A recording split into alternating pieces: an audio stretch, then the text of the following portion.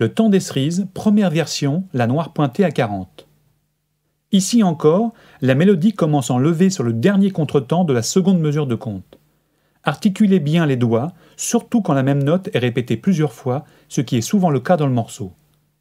Le point d'orgue qui surmonte la note finale indique que vous pouvez la faire durer autant que vous le désirez.